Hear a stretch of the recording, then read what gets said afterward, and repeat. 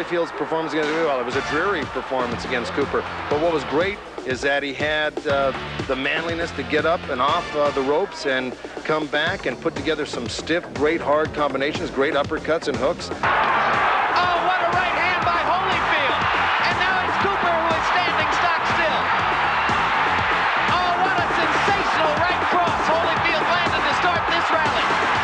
Well, for a moment there, it appeared that uh, Bert Cooper might be the new heavyweight champion, but Holyfield recovered very quickly. By the time he had the standing eight count, he was, I thought he won the rest of the round. So we know he does have good recuperative powers.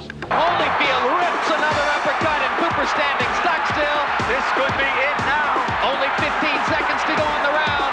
Not much time for Evander. Cooper staying right there. Target practice, but he's not going to get it he's going to get him. Mills Lane has seen enough. Holmes is here not as a novelty like Foreman was a year ago, but he fought his way into this fight. And the intriguing thing is, you know, the old man has done it once. Uh, he's beat one of the, the so-called young lions, and, you know, can he take that next step? I want to quote the man I regard as the greatest teacher and trainer of all time, Cus D'Amato. Cus had always said that when any great fighter is in the twilight of his career, you can get it together on one evening and look marvelous. I believe Holmes will look great against Holyfield. I think that'll be his evening, and I therefore I think he'll win.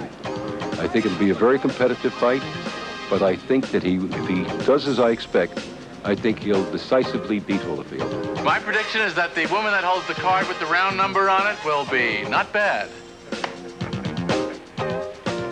My prediction?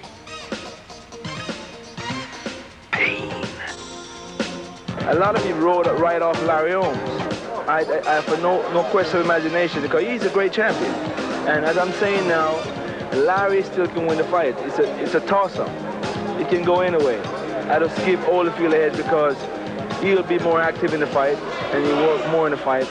And if he really wants the fight, he should win. But to be a tough fight for him. Probably Holyfield in a decision think uh, Larry will be able to keep him at bay with the jab. So I think it's going to go the distance. Should be fun. We can say what we want about Buster Douglas. Douglas didn't come prepared to fight. That's true. But what I liked about what Holyfield did was he took advantage of the big mistake that Douglas made. And more important than that, that was the first time we'd seen Holyfield show his good movement. Holyfield Douglas that was, I think that was probably Evander's best performance. I mean, he looked really focused for that fight. Larry Holmes, you know, has been very active and he has fought some fairly worthy opponents on the way back. And I think that uh, the left jab, the style is a big difference in all fights. And I think that in this particular fight, the style of Larry Holmes is going to be the type of style that's going to give uh, Evander a lot of problems. Holmes is going to, I think Holmes is going to beat uh, Holyfield. I think you have a good chance. He's a, he's a, he's a legit heavyweight. You know what I'm saying? He's, a legit heavyweight. He got the weight, he got the height, he got the reach. You know, he got the experience. Holyfield, you know, he, he, just barely got over me. You know what I'm saying? By a hair. You know? But uh, I don't know. I hope him the best. I wish him the best. I think the thing that's intriguing about this fight is the fact of an older fighter and a younger fighter, and whether the older fighter can come back and still teach the young fighters some new tricks. And I think Larry Holmes can just pull it off. He is a teacher. He's a good teacher. And in my grammar school years, when we had a good teacher, to show our appreciation, we would bring an apple.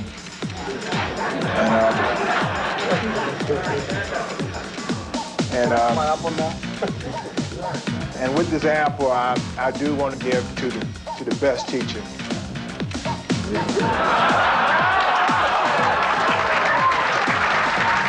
It's your right to cheer for Evander Holyfield and root for him and pray for him. But it is, when the bell rings, it's my right to knock his head off. It's going to be a great fight, and you're going to really see history made. You're going to see a 42-year-old man regain his championship uh, when people thought that that was impossible. And I look forward to this fight, and I look forward uh, to the vindication, in effect, of Larry Holmes.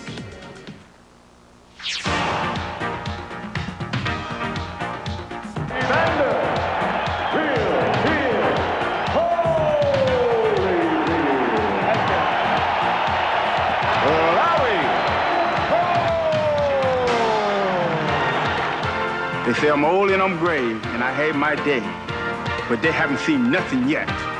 I'm the Easton Assassin, and I'm back. I think there's a tendency to believe out there that, that Holyfield, anytime Holyfield steps in the ring, an upset can happen. And I think that's probably the case right now. Even at 42, Larry Holmes has a hell of a shot on June 19th. That's because, A, I don't think Evander Holyfield hits hard enough to take him out. B, you can't miss Evander Holyfield. Because of A and B, C, Larry Holmes believes he's going to win. That kind of confidence that Holmes has usually means he's he's going to be in the fight. To make a prediction flat out who's going to win, I, I really can't. I think it's that close. That's going to be a tough fight. I like both of the guys, but um, I would have, you know, I would I would have to go. If I had anybody to choose, I would say, may the best man win. I can only tell you, give you the strong points of both fighters. I think Larry Holmes' strong point is ability to box. His ability to use the left hand, to work off the left hand. Holyfield, his strong points, he had power in both hands, left hook and right hand. But his strong points is to get inside. If uh, Evander comes in with a clear mind and uh, a good attitude, I think he would win because when, when he puts his mind to something, he goes in there and establishes what he has to do and gets it over with.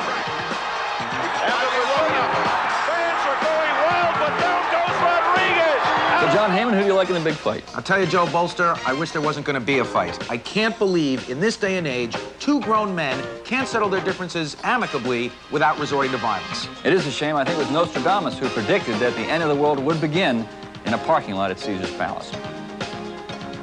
I picked a Holyfield knockout within five rounds because Holyfield's a younger guy, he's stronger, he's smart, he's a smart technician. Well, it's always dramatic when you have an old champ like Larry Holmes and a proud guy who, you know, does not want to quit and will fight, you know, the last ounce of whatever strength he has, uh, trying to regain his title. And you know that Larry's been burning ever since uh, the Spinks fight. I think he thinks that Evander Holyfield is just another Michael Spinks. Uh, so that makes it dramatic because it's almost his way of redeeming or maybe rewriting history. What I will tell you is this, that I really feel it's going to be a lot more exciting fight than people may think as Holmes proved against Mercer. And I think the confidence level is going to be 50% higher for Holmes. He's To his right. Say he wants him in yeah. there. He said, come on, come on. And he's nailing Mercer with right hands and uppercuts. And Mercer just stands in there and takes them. There's no way Larry Holmes will be as accurate against uh, Holyfield as he was against Mercer because you're talking about two different opponents opposite him. Mercer did not move. He was a stationary target from the waist up. Evander's very elusive, head side to side, bobbing and weaving constantly. Very hard for George Foreman to hit. Will be very hard for Larry Holmes to hit. Larry Holmes' strength, uh, strengths are his heart and his, and his will. Uh, he's never been a quitter, and he'll be in there giving you know 100% of what he has. Uh, his jab is uh, one of the best. Evander Holyfield's strength is that he technically, from an offensive standpoint, he might be the best in boxing today. He throws more punches and throws more punches well than anybody in boxing. He has an excellent jab, a very good hook, a good straight right hand, one of the best uppercuts in boxing, and he will go to the body. From an offensive standpoint, there is almost nothing to criticize in Evander Holyfield. That is his strength. The fighters of this era don't know how to fight because they have no experience in a ring. And that's the difference. And that's why a man like Larry Holmes can get into the ring today and fight a younger fighter because he knows more than that fighter will ever know. I'm the best at this time. And on June the 19th, if you want to see what's going to happen to Larry Holmes, be there and get TVKO. TVKO. He is championship boxing. Month after month. Pound for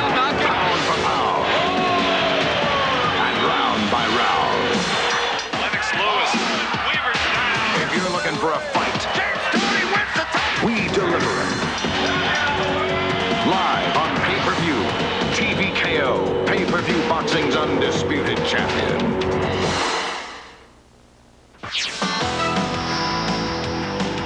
Evander is the best.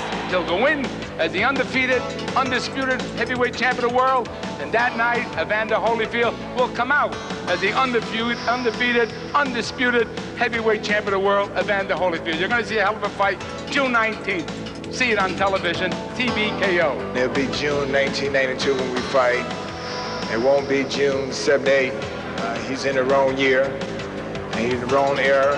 He's messing with the wrong man. And, uh, and usually when you bite off more than you can chew, you usually get choked.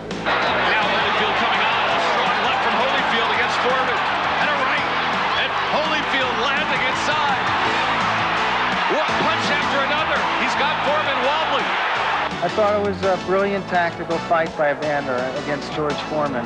His movement, his getting in and out, picking his shots, unloading in the seventh round with 20 consecutive blows uh, was a spectacular performance. Holyfield home. Oh, it's probably the most outstanding boxing match in the history of the sport because you're pitting the past against the present. And anything can happen when two boxers get into the ring. And very seldom you meet one that still got endurance and quickness from the past as home. It's going to be the most exciting fight. I'm going to buy 12 boxes of popcorn, 17 hot dogs. Oh, I'm going to have uh, uh, cotton candy. It's going to be a treat. Brandon Holyfield. Great champion. Look at that physique. Strong. But where's he making a mistake? Look where his hands at. he cannot fight me with his hands like that. This is me. As if you didn't notice. Ray Mercy. As you see extended there, that is called the home camera. That will go all night long. This man, I presume, takes a better shot than you. So if I hit you with that, then good night, Irene. June 19th, season five. Be there.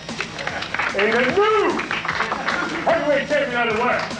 thought it was a great performance. I mean, he he uh, he was so loose in the ring. That was the main thing that impressed me. I mean, he was talking to the camera guy during the fight. Um, he, he, he just was having fun in there. Holmes is talking to our camera. He says, I'm not Tommy Morrison. And he, and he was working too. I mean, he landed like 70% of his punches. I don't care if you're fighting your mother. To land 70% of your punches is, is very impressive. I wasn't certain that Larry could beat Mercer. I thought that he would, that he could. I wasn't certain of it. But let me tell you, as I stand here today, I am absolutely certain, without any kind of doubt, that the next heavyweight champion of the world will be Larry Holmes. Good right hand and Bay is down. I make it a very interesting matchup, a heck of a fight. I don't think Holyfield's going to get past Larry's left hand. And I think Larry is going to, per se, win recognition, win a title, and then we're going to have a lot of fun later on. I think it's a fight that certainly causes a lot of controversy, and like I say, people love comebacks, and I think Larry Holmes gained a lot of fans when he come back and surprised everybody against uh, against Mercer. So it's gonna it's, it's gonna be an exciting thing for me. It's gonna be an exciting thing for you. And it's gonna be exciting for anybody that's associated with the sport of boxing. Well, the intrigue about the fight is that Larry Holmes made us at least semi-believers by his performance against Ray Mercer. And the other intriguing aspect is that we know Evander Holyfield, while he's a very good boxer, and I think vastly underrated, is not a huge puncher. That's what gives Larry Holmes, I think, a shot in this fight because we know this much. He's a he's a skillful man in the ring and he's very crafty. I think that Larry Holmes will be deafened by the ticking of his body clock, and that amid the noise, Evander Holyfield will score an eighth or ninth round technical knockout.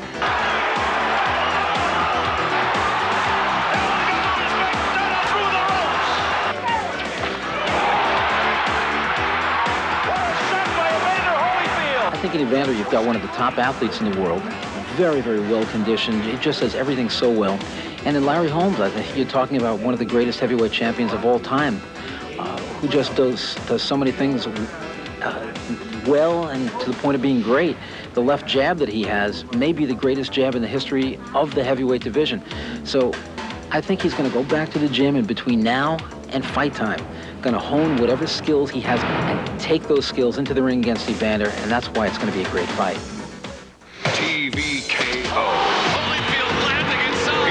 Championship boxing. Month after month. Pound for pound. And round by round. Lennox Lewis. Weaver's down. If you're looking for a fight, we deliver it. Live on pay-per-view. TVKO. Pay-per-view boxing's undisputed champion. The intrigue is the fact that he has another 40-plus guy coming along, uh, fighting for the heavyweight championship, and uh, a lot of people giving him a chance also to win. Well, the fact that Holmes really brought himself up to the peak that he did, it was a tough fight against Ray Mercer. He went the entire 12 rounds and deserved the decision. I think that's what the public is interested in seeing, if Holmes can do it again. He's done it for six. Oh, the right hand and the uppercut from Holmes. But after seeing the Holmes-Mercer fight, I have to think that maybe Holmes could pull out one more big win like that. Um, my common sense tells me it's going to be Holyfield, but my heart tells me Larry Holmes got one more big win.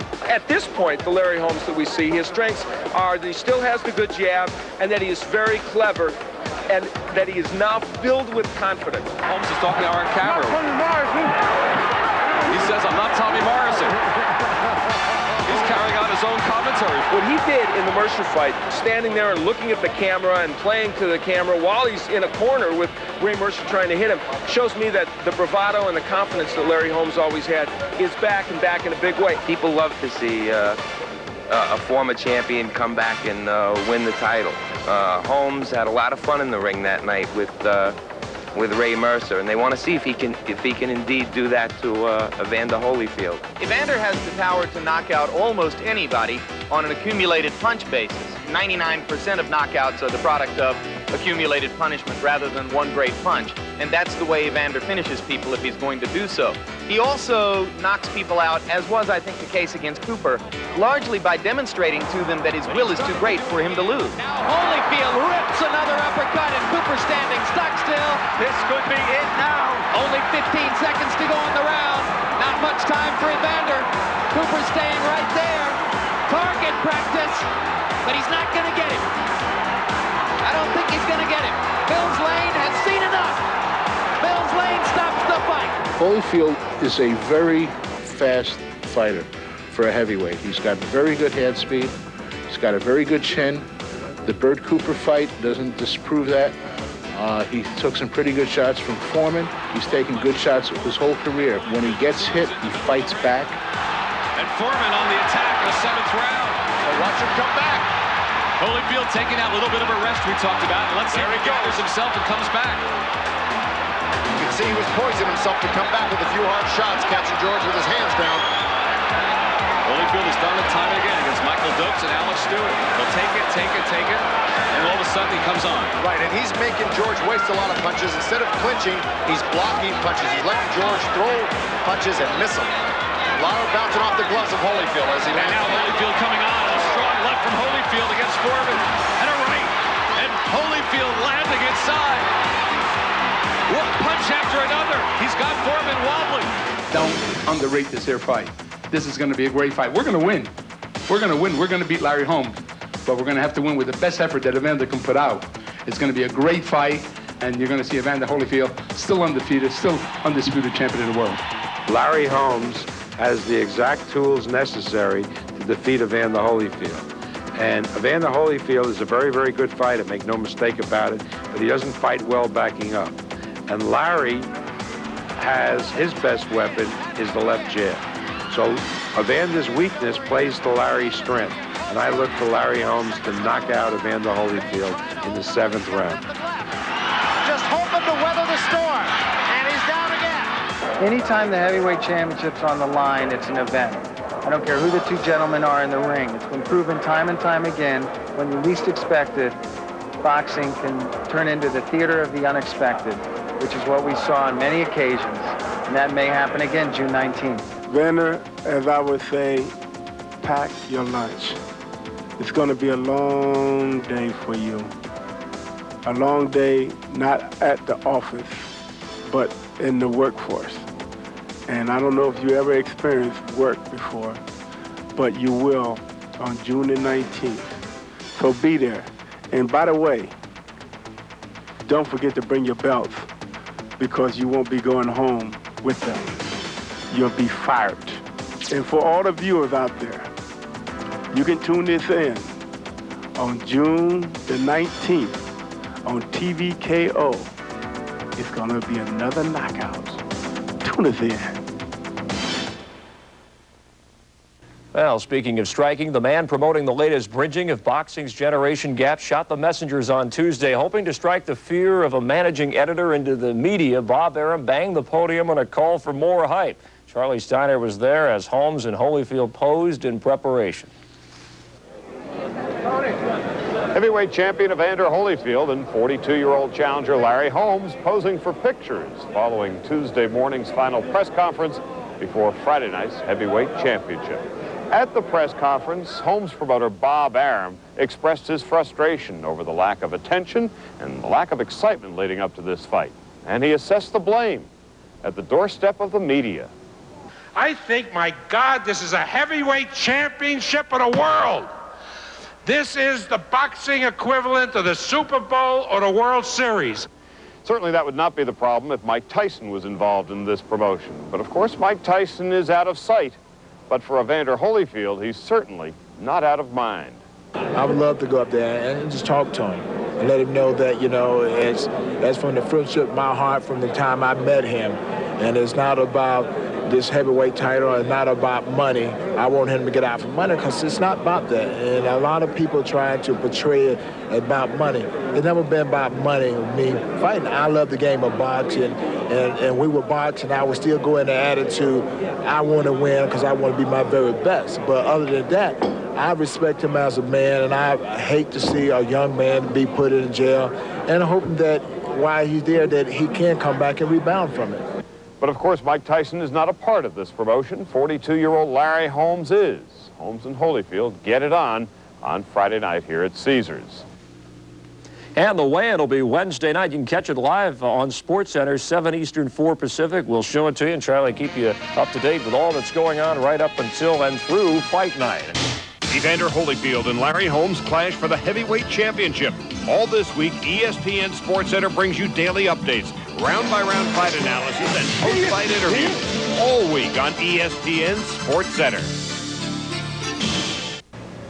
Friday night here in the Nevada desert, Larry Holmes and Evander Holyfield will look to climb the mountain for the heavyweight championship of the world here at Caesars Palace. Hi, I'm Charlie Steiner, and on Wednesday afternoon here at Caesars, they had the anticipated weigh-in for Friday night's championship fight. It was Larry Holmes who tipped the scales first. 233 pounds is what Holmes weighed in at, which is exactly what he weighed for the Ray Mercer fight back in February when he won that unanimous decision, setting up the heavyweight championship fight with Evander Holyfield. Then it was the champion's turn to get on the scale, and the immaculately sculpted Holyfield weighed in at 210, which is exactly what he weighed in against Bert Cooper back on November the 23rd, 1991 in Atlanta. The tale of the tape reveals advantages or perhaps disadvantages for Larry Holmes every step of the way. He is 23 pounds heavier than the champion. He's certainly been in this business a whole lot longer. After all, he is 13 years older, and he has a three and a half inch reach advantage. After the weigh-in, Al Bernstein had a chance to talk to both fighters, first speaking with the former champion, Larry Holmes. We are here with Larry Holmes, who weighed in at 233. Your uh, lowest weight during this comeback was 232. Does that mean even more movement from Larry Holmes in his bout? Oh, no. Walking right to him and do my thing, you know, make him make mistakes and counter with it. That's all. All right, so that, that weight you're happy with? Very happy. You know, uh, I'm strong, I'm older, and as the older you get, the more weight you got to put on. So it's, it's, it's no uh, trying to gain weight or trying to lose weight. Just let my weight fall wherever it falls at. Mentally, I'm together because the workout wasn't so long. It was like six or eight weeks, not 13 to 14 weeks. and my weight stayed up, and I haven't been ill this fight, and I feel good.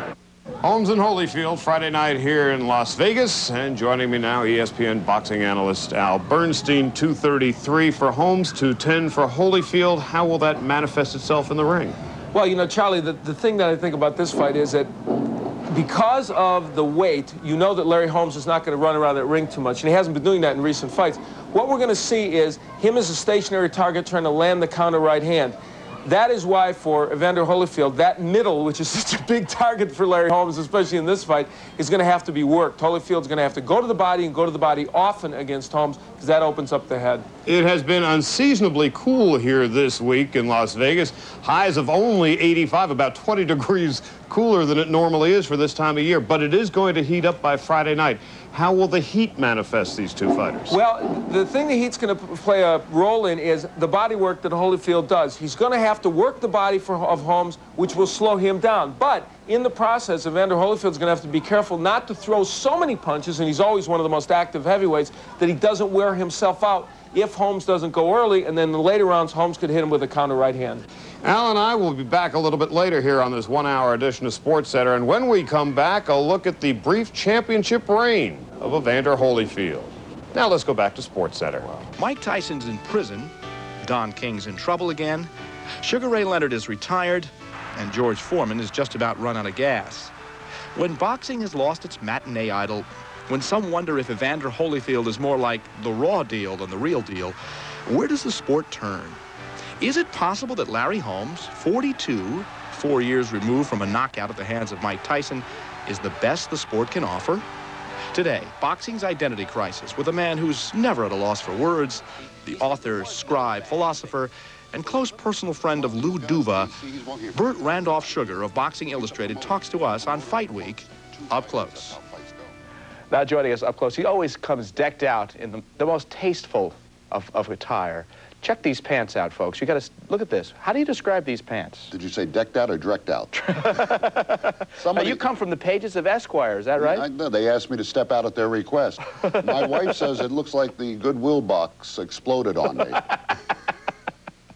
Now, this is, this is really a surprise because you're a man who picked Sugar Ray Leonard to beat Marvin Hagler.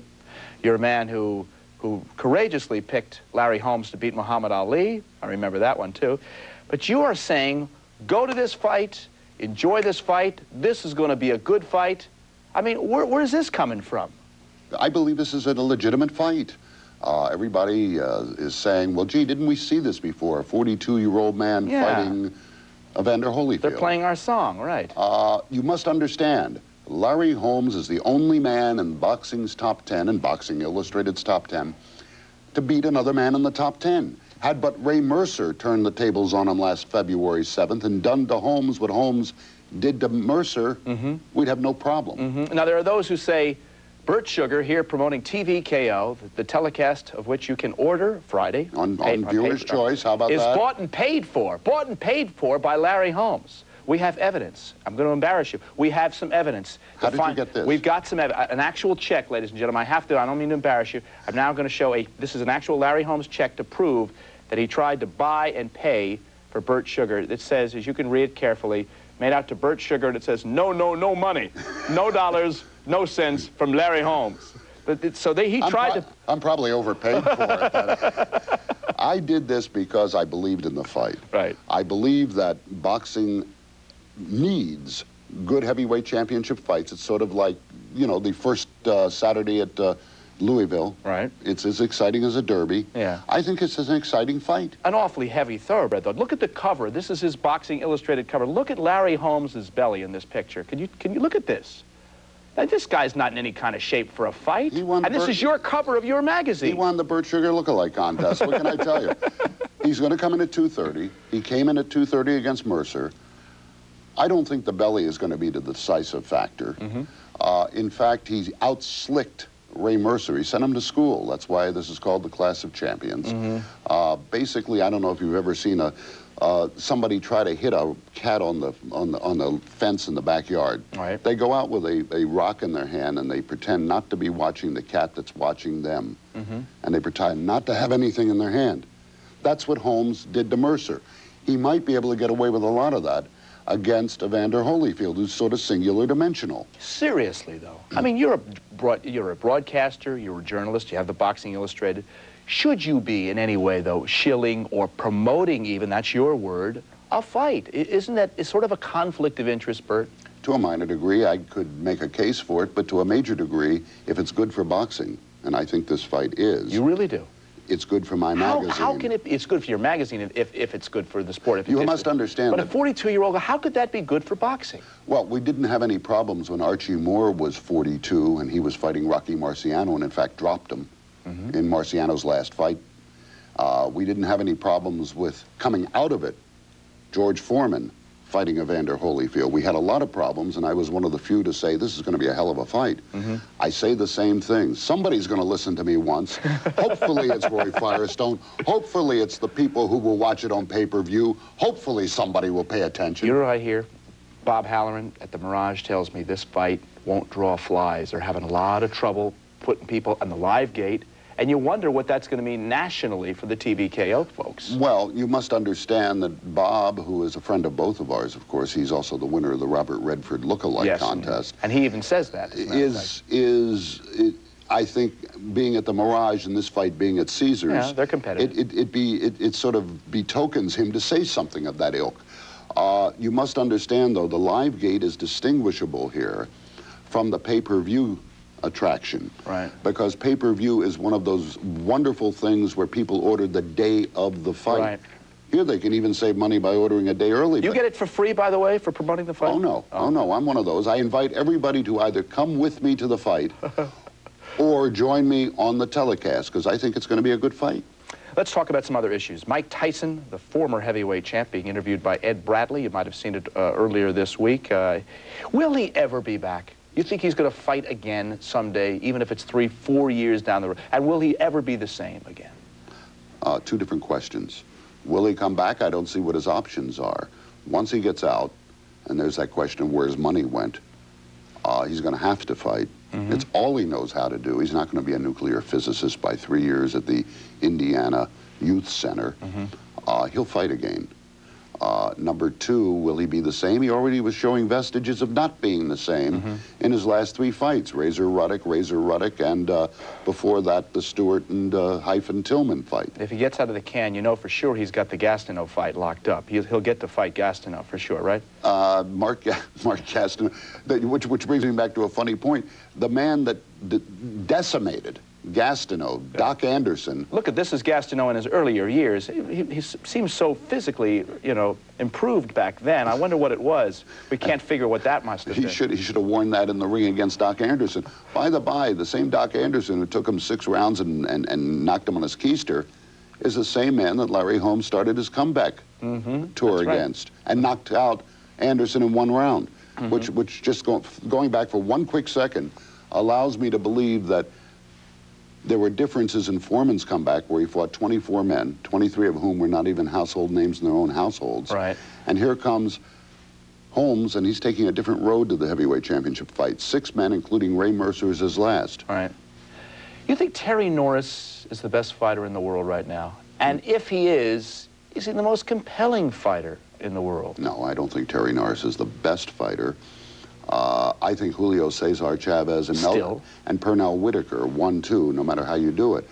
Norris's stock continues to raise, uh, be raised by writers, but I do think that he is not as colorful Right. as the people he's trying to succeed, the Ray Leonards, the marvelous Marvin Haglers, the Roberto Duran. That, that brings up an interesting point. Should a fighter have to worry about capturing the public's imagination? I mean, if he does his job in the ring, if Evander Holyfield he wins, and he always wins, why should he be concerned about the knocks that he doesn't, he doesn't move us as the champion? Is that part of the, the package? You have to do that as a fighter?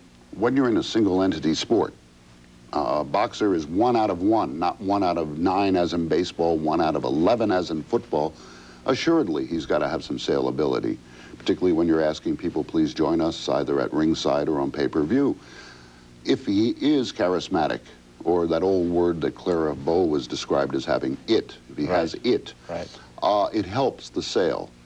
Uh, if he doesn't have it, and uh, there are those that say that Evander Holyfield looks like he just came off Mount Rushmore, Right. and that his idea of a good time is wearing brown shoes with a tuxedo, Right. it then does not make him a compelling watch. Right. One word answer. Does Holyfield have it? No, no, and particularly compared to what Tyson had. Yeah. Ty- Tyson had a perversity. Holyfield does not have anything. Boxing Illustrated's Bert Sugar also here promoting TVKO. We're going to come back talk about his old friend Don King. We'll do it after this. Up Close is brought to you by Smooth, the Busch Beer, and easy drinking Busch Light.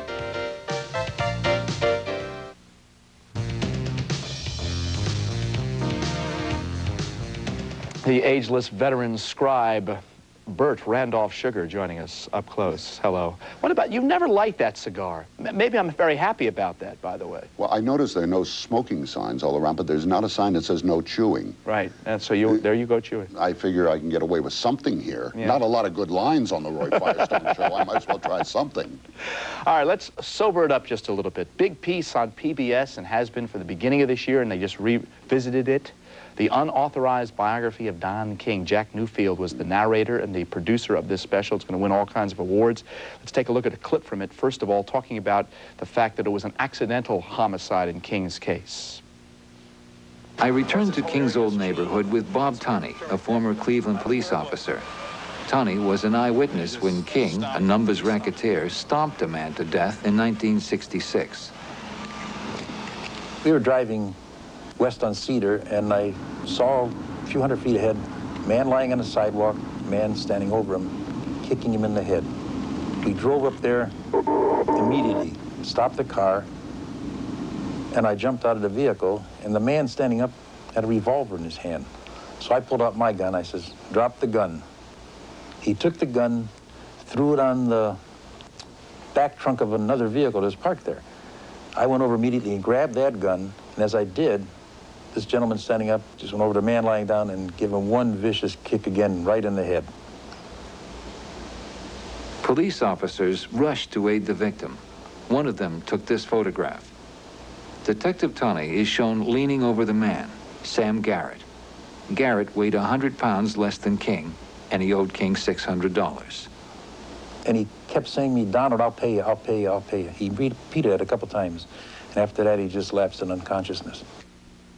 Now, that is history, that is record, but it, for the first time, I think, certainly on television, we learned that it was not an accidental, or as King has said for all so many years, a mistake where he bumped his head against the sidewalk, that King in cold blood killed a man. Well, or in hot blood. It could be one of the two, but nonetheless, there is a homicide involved. Mm-hmm. For which he was convicted. And served time in the slammer. What did you think about this report, this, this, this two-hour special on PBS? Well, Jack Newfield is a great investigative reporter. And he got uh, most of the facts. Some of those had appeared in Boxing Illustrated before, but what he had done was take them and run them even deeper. And uh, did a hell of a job. It is there in the proverbial black and white for all to see that if a man can kill a man for $600, what will he do in the name of the many millions that boxing has? Now, we found out a little bit later what uh, Don King thought of Jack Newfield in the flesh, head, head to head, face to face. I guess this is in the lobby of the Mirage. This is actually a scene from that unauthorized biography of Don King. But for a scumbag like you, Jack Newfield, that is prejudiced, you don't have no right to do what you do. You're not fair, impartial, and objective. Do your thing. I was taken aback by the intensity of his rage and by his attempt to intimidate me. You ain't got nothing in you that spells truth. You're the biggest prevaricator, lying SOB that ever was, man. You are nothing. You are nothing. Why is King so afraid of Jack Newfield? I don't know if he's afraid. I think he is irate that somebody is positioning him with facts rather than, as Don calls them, trickerations. Uh, Don uh, did something in there he oft times does. He did against Mike Katz of the New York Daily News. He will fall back on calling any person, a writer who is white, bigoted, or racist if they find out something on him. Uh, I don't know if he's afraid of Jack, but Don assuredly is afraid of Jack's report coming out. Yeah. Is King in trouble? Big trouble now? The kind of trouble where he may not be able to get away? Well, he's in trouble not from a legal standpoint because there has been a letter written, if you will, by Mike Tyson saying he empowered him to make the deductions he did, including $52,000 to his daughter Debbie to run the the Mike, Mike Tyson Tyson, fan, fan club. club, I yes. just hope that Don never runs a fan club for me. uh, but I think he's in trouble because his meal ticket, his cash cow's in, in jail.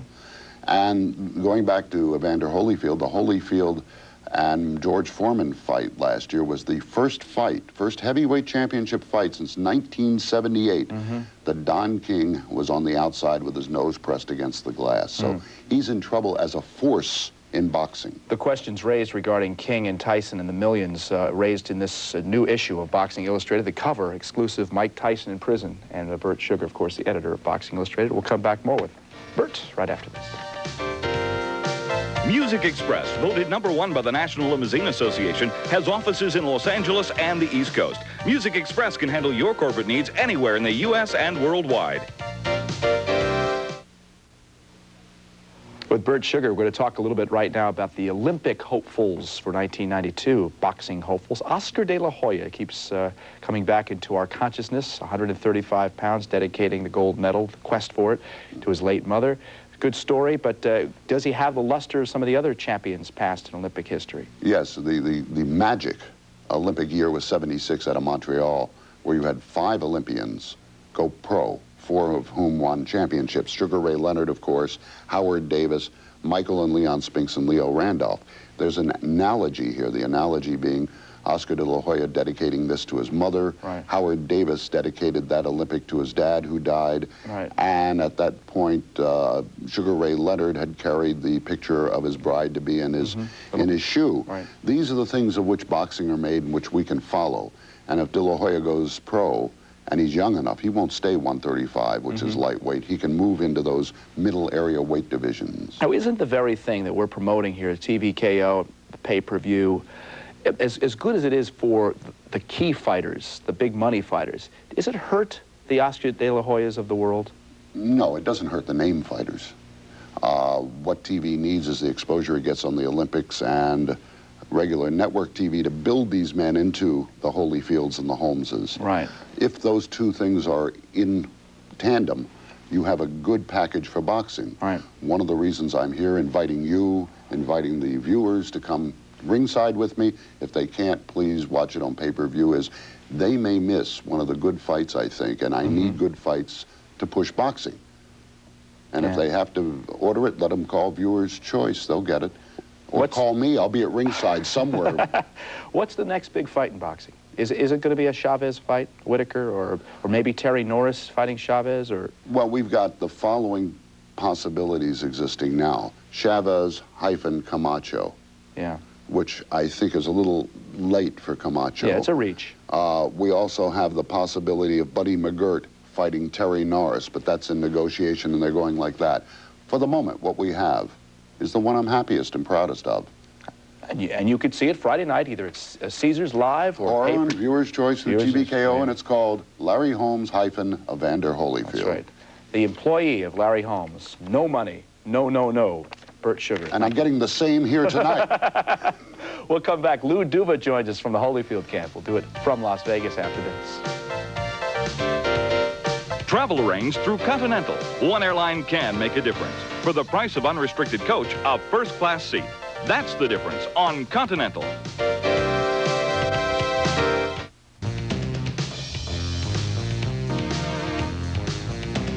Joining us now up close from Las Vegas, the trainer of Evander Holyfield, here's Lou Duva. Lou, welcome. Good to see you. Hey, good talking to you, Roy. I'm How's ready your- for you. Yeah, how's your health? Because last year at this time, of course, you had the open heart surgery. I think you dropped, what, about 15 pounds? Yes, I dropped about 15 pounds. I'm walking. I'm in good shape. I'm back in boxing. And Roy, you better watch yourself because I'm coming after you. Talking about shape, you told me uh, a few moments ago when we were getting set up that you can always tell what kind of shape your fighter is in by how little he says, right, before the fight? Absolutely. We go on the three grunt program. You know, when it's no grunts at all, we're concerned about it because he's too happy, too complacent. Uh, but as soon as he starts going to one grunt a week or two grunts a week, but when he gets up to three grunts, that's walking down the aisle to the, to the ring the night of the fight. Then I know he's ready. So you're saying he's ready right now? Right now, he's up to two and a half grunts. okay. What does this fight prove, Lou? A 42-year-old opponent to, who some say washed up years ago. Well, you know, Roy, everybody can, they can pick on anything. They can pick on how tall he is, how fat he is. They can pick on a lot of things, you know. So they're going to pick on 42. This guy comes in with 22 years of experience. That's what I'm concerned about. I'm not concerned about the known. I'm concerned about the unknown, about his desire to, to know that here he's got a chance uh, to get respectability, which he never got as a champion, uh, to, to, uh, to come up with a pot of gold if he should defeat him and become the world champion. Those are the things that I'm concerned about. What did Holmes show you against Ray Mercer? He says he was a different fighter against Mercer, a better fighter, believe it or not, than years past. Do you buy that? No, I don't buy that. He had a dummy in front of him. Uh, number one, uh, Mercer, you know how bad it got. I mean, Larry Holmes is talking to him and he's talking back to him, you know? I'd put a, I've told Evander already, put a fist right in his mouth as soon as he starts talking. Yeah. What about uh, this whole contention that your guy has really been ducking Riddick Bowe, and they'll take any fight they have to before they have to take on Riddick Bowe? That's an absolute lie. The fight that should have been right now was Riddick Bowe. That's the fight was supposed to happen. Uh, that's a fight that Rock Newman pulled out on after he made a deal with my son. So that's a fallacy. Mm-hmm. The Tyson fight that never was, how much did your guy need Tyson to prove his worth as a fighter? He didn't need him. I think what they needed was each other. Mike Tyson also had to prove something. Who was the best fighter in the world? Mm -hmm. And I think they needed each other. And I think really the public is the one that was deprived of it. Let me tell you something, Roy. My guy would have fought him in a bar. My guy would have fought him outside. He would have fought him for nothing. He wanted to fight Tyson. You think he'll ever get the chance? Your guy against Tyson? We can only go on availability. We were supposed to fight uh, Mike Tyson three times, and three times something happened that uh, Mike Tyson was never available. I mean, if he's available while Evander is still fighting, we'd be glad to fight him, but who knows? Right now, he's looking at three to six, so who knows what's going to happen. Evander Holyfield is a quality guy. I've spent a lot of time with him. He's very charitable. He's everything, quote, a champion should be in the public eye, I think. But I still believe the public doesn't buy him. Uh, that's just my point of view. If there's any skepticism on the part of the public, Lou, where do you think it comes from in Evander Holyfield? Uh, that he's too nice a guy. I mean, uh, they can't they can't imagine that he would be um, a bad guy in a ring. By that I mean really a fighter, going out there and giving his all, giving his best, and then on the outside he would do a complete reversal and be a good guy mm -hmm. and, and, and wanting to please the kids out there, wanting to make sure the sports got a good image and make sure that the kids out there are, are, are in the right, uh, right, right frame of mind as far as respecting boxing. Mm -hmm. If he was a better knockout artist, too, if he was more dazzling, turning guys away early in a fight, think that would help? Well, Roy, maybe it might help as boxing. I don't think it could help him as a person. The guy is a, the guy's the tops when it comes to a person. He's a good human being. You wouldn't want it any other way. Believe me, you wouldn't want it any other way. And this charge of steroids on the part of Holmes, which we've talked about before, but we'll talk about it again. Uh, how damaging is that for kids who don't know uh, Evander Holyfield's uh, ethics and morality in terms of pre preparing for a sport? When, he, when Holmes even infers that Evander used steroids, how damaging is that? I think it's embarrassing, number one, to the sport. I think it's embarrassing to the kids out there. And um, it didn't affect uh, uh, Evander to the point where he got mad about it. He was just embarrassed about it for the kids. Because it's like he says, if one kid out there believes uh, what uh, Holmes says, it demoralizes his, uh, uh, you know, everything he, he respects about boxing, everything he respects about athletes, uh, this is what's wrong with it. Yeah. Lou Duva, best of luck Friday night. Evander Holyfield, Larry Holmes at Caesar's Palace. Stay in shape. You look good, and I'm ready to tangle with you. I'll get ready to rumble with you anytime. no, no, get no. Let's first train for a year, both of us.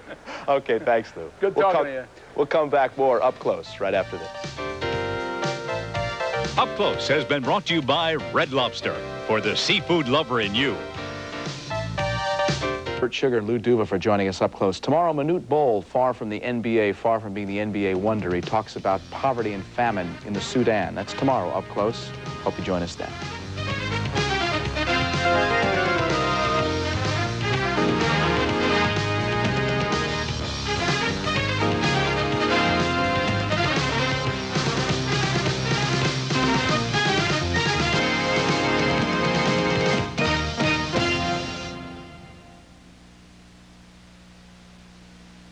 And up next, we'll send you to Las Vegas, where the undisputed heavyweight champion of the world is standing by, Evander Holyfield. We'll speak live with our Charlie Steiner.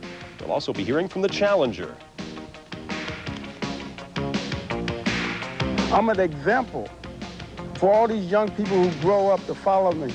I'm the greatest thing ever. I love me. I said Mike Marciano can carry my jockstrap. I say Charlie Steiner can carry my jockstrap.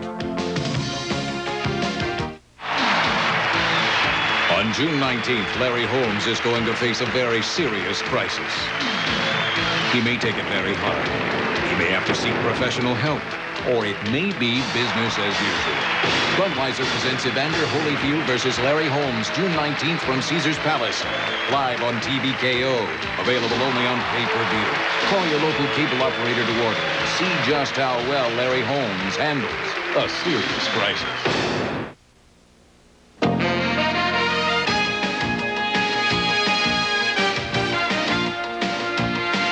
Center is brought to you by Anheuser-Busch, who proudly brings you Family Talk. Let's stop underage drinking before it starts. And by Foot Locker, America's most complete athletic footwear store, where it all begins. At 8 minutes after 4 o'clock Pacific time, it is 100 degrees this Thursday afternoon in Las Vegas. And about 24 hours from now, Evander Holyfield and Larry Holmes will step into the ring for the heavyweight championship of the world. For Larry Holmes, he is a 5 to 1 underdog. Larry Holmes in search of lost youth, in search of a one-time heavyweight championship that he held for seven and a half years, and ever, it seems, in search of respect.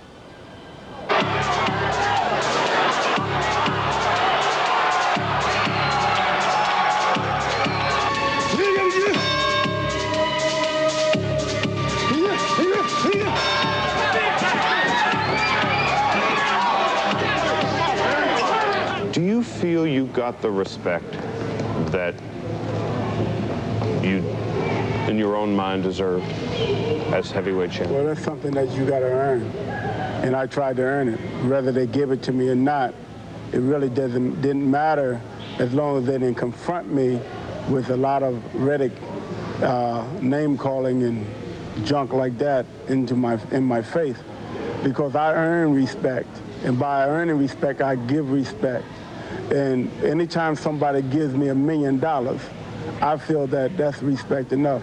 So when the critics, when the news media like yourself come out and say, he didn't get the respect he, deserved, well, I damn sure did because if you look at my bank account and see that I got respect. Now, a lot of people might say that Larry Holmes, that's all he wants is money, but try to live without it.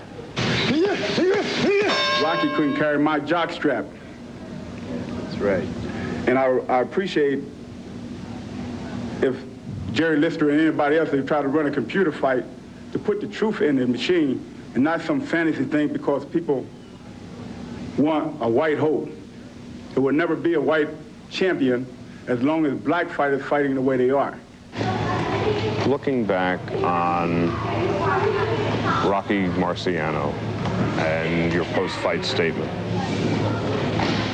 you look back at that now and kind of cringe and say, damn, I wish I didn't say all that? I didn't say anything. I didn't say anything that people wanted to, didn't want to take out of contact. I don't care what people say about me. I'm a great fighter. I'm a great individual. I'm a good human being. I love my family. And I respect other people and their families. But when it comes down to someone is trying to tear me down, to put me down like I never exist, like everything I've done didn't mean anything, I get mad. And when I said Marciano couldn't carry my jockstrap, that was a slang. They took it and they ran with it, way out of proportion. You said it in your day, probably to someone, and didn't mean anything. Somebody else said things to somebody else that don't mean anything. People take it out of the wrong contact. Is your place in history important to you? My record speaks for itself, Charlie. You know, how many people in this world that owns the own federal courthouse building that got their own prison cells in the building that's paid off? How many people, how many black people can say that? I'm an example for all these young people who grow up to follow me. I'm an example when I says I'm not going to do certain things that some people make you do. You know, you got to, you know, you got to stand up for something. And I stand up. I stand up for me.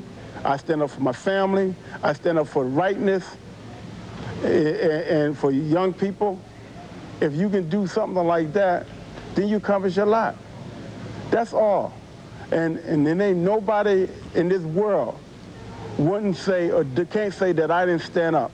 I stand up to boxing organizations. I stand up to managers and promoters. I stand up to ESPN, ABC, CBS, TVKO, or HBO, or any other network.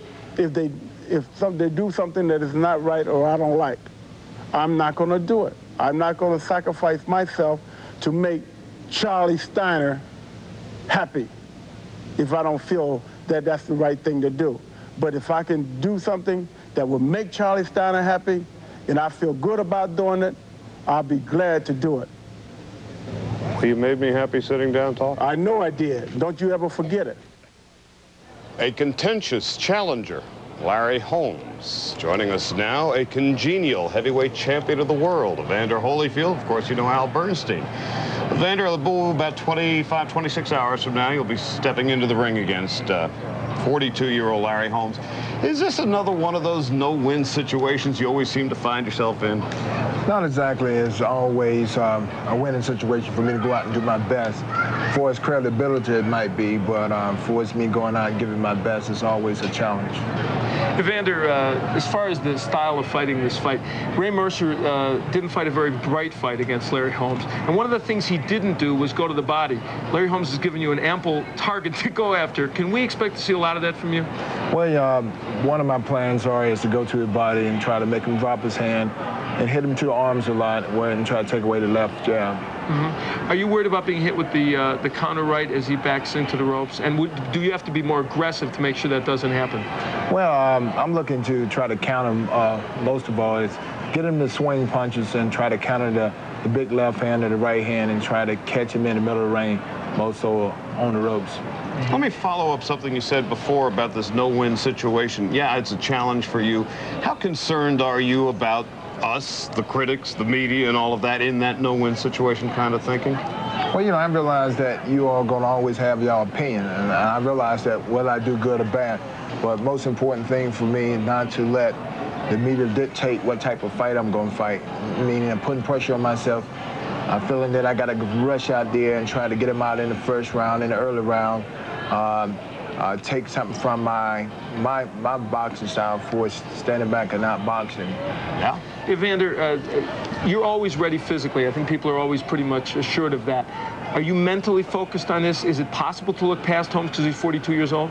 Well, not at all. I, I think um, uh, for us looking past someone shows you that you're not mentally together. And I'm thank God for me being able to focus on one thing, and that's Larry Holmes right now at this time. How important is it for you to win big? You know, you, you were tested, of course, by George. You've got more than you wanted out of Bert Cooper. How important is it for you to take this guy out in a hurry? Well, Impressively. It really, it really is not important to take him out in a hurry or anything. It's important for me to, uh, to fight a good fight and fight a smart fight because see, Larry Holmes got a lot of experience to the point where that he can keep himself from getting knocked out. But uh, the object of the game for me to get out here and make him fight. Because I know if he fight me back, then I'll be able to take him out. You've Evander Holyfield, the heavyweight champion of the world, who will be in the ring, oh, about 200 yards to our left here a couple hours from uh, 24 hours from now. And a reminder, tomorrow night, as soon as the fight is over, we will have live and exclusive coverage of our post-fight extravaganza, round-by-round -round coverage as the baseball game proceeds. And a very pleasant good evening to you. Welcome to Sports Center along with Bill Patrick. I'm Bob Ley. Tonight, among the neon and the gold and the irrigated lushness of Las Vegas, sports will pause for that one event which revels in excess. That would be the heavyweight championship of the world. And in more ways than one, Vegas is heating up for this one. Charlie Steiner joins us live now. Charles? Bill, a triple-digit temperature day here in the Nevada desert, and we're about four hours plus until fight time.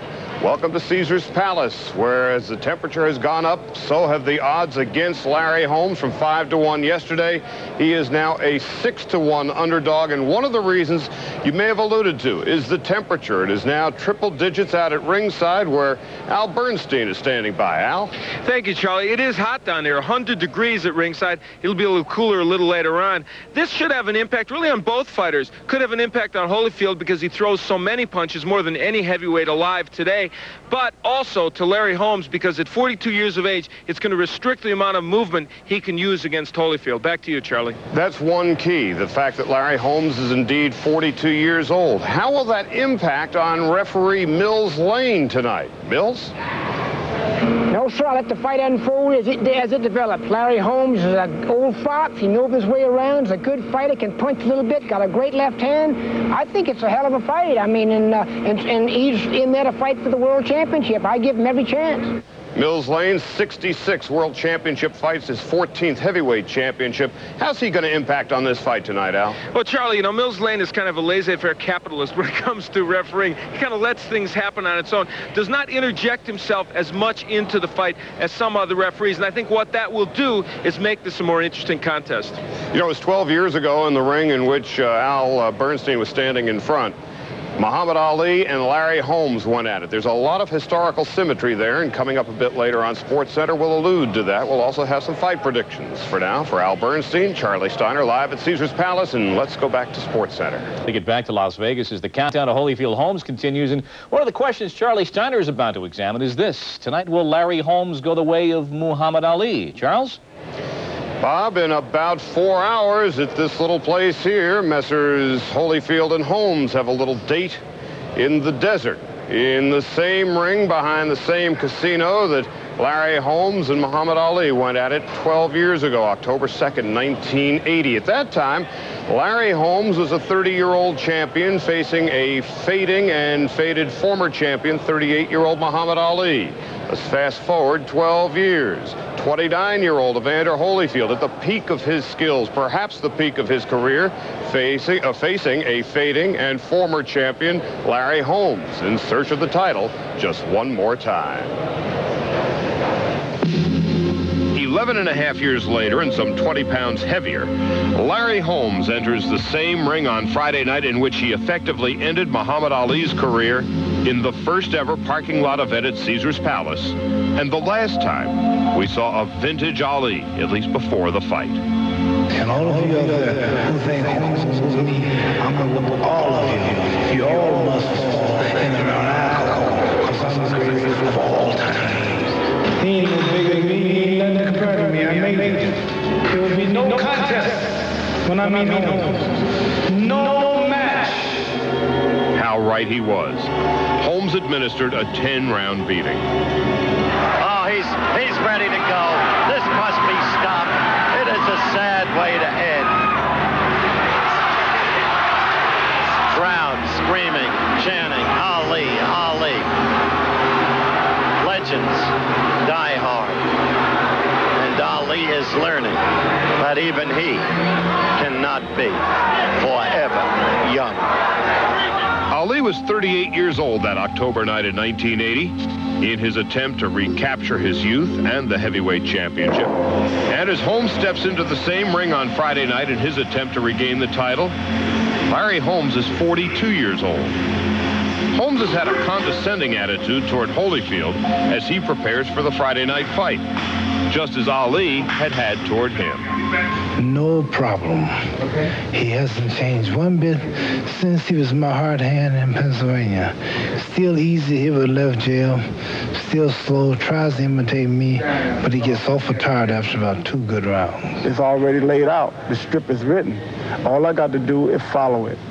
And as long as I don't deviate from that, I'll be heavyweight champion of the world. As the Ali fight progressed, and it became apparent that Holmes was simply beating up his former boss and idol, Larry took pity on the aging Ali. You held back on punches, didn't you, that night? So as to not hurt him? That night. But if it was this night, I wouldn't do, do no holding back. I don't, I don't have any soft spot in my heart while I'm in the ring anymore. Holmes was 30 on the night he destroyed the 38-year-old Ali. Holyfield is 29. Holmes does not expect Holyfield to pull his punches the way he did in 1980, nor would he want him to. It's every man for himself. And if some, something happened to me, will Muhammad Ali feel sorry as I did? Would anyone feel sorry as I did? Now, I don't worry about anyone. Al Bernstein and I were in the desert here 12 years ago covering the Ali Holmes fight. What lessons were learned that night that we might be able to apply tonight? Well, I think the lesson that was learned by Muhammad Ali and might be learned by Larry Holmes again tonight is older athletes have the most trouble dealing with speed. We don't think of Evander Holyfield as being so fast in terms of foot speed or hand speed, but guess what? He is, and I think that may be the one thing that Larry Holmes is shocked at, and the one thing as uh, viewers of this fight that we are amazed at all these rapid fire combinations that will probably do Holmes in. The odds have grown a little longer for Larry Holmes. Yesterday he was a 5 to 1 underdog. Today he is now a 6 to 1 underdog, and that seems to be the sentiment of a lot of the boxing experts around these parts. Holyfield's going to come out very aggressive. I think he's got to take the fight to Holmes. He's got to hit Holmes early and hard. And I think Larry's going to wither.